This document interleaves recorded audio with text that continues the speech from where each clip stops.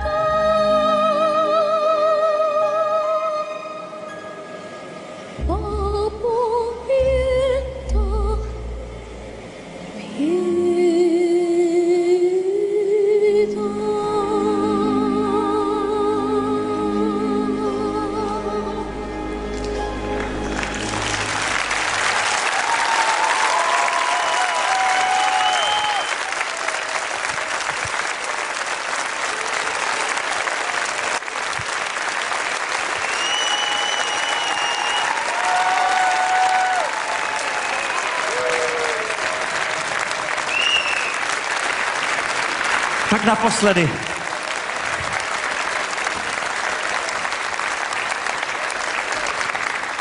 Geniální, zázračná, úžasná I love you.